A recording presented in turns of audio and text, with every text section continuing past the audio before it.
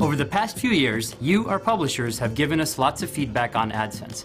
You've told us how we can help improve your AdSense experience. This feedback helped us realize we needed to build some new features and present them in a more intuitive way. So we started building the new AdSense interface. The new AdSense interface is more than just a visual and navigational change to your account.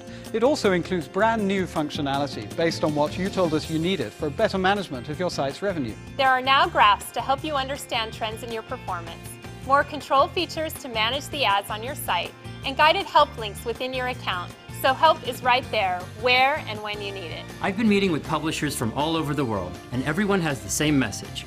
Data is king. As a result, the new interface lets you slice and dice your data by ad size, ad type, or targeting with clear, easy to read graphs. We understand that as publishers, you spend valuable hours setting up reports and channels and just managing your AdSense account. The new AdSense interface is designed to free up your time so you can concentrate on activities that truly help grow your business. We've added tons of enhancements that simplify the process of doing the most common tasks. To help you take advantage of AdSense features we think you'll find helpful, we've grouped related ones together.